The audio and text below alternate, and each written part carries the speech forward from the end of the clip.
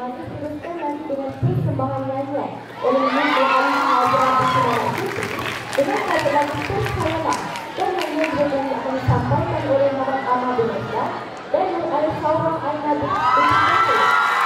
Lagu bisa bertajuk doa. Kita silakan. mengucapkan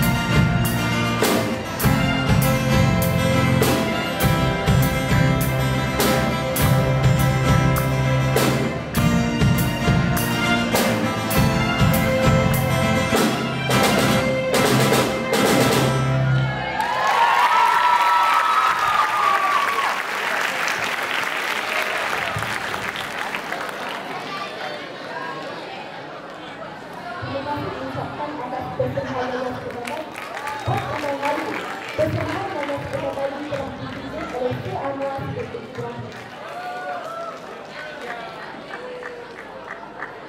Hari ini sekalian, majelis diteruskan lagi dengan penyampaian anugerah sistem rumah. Kepada Tuan Sampai Manani untuk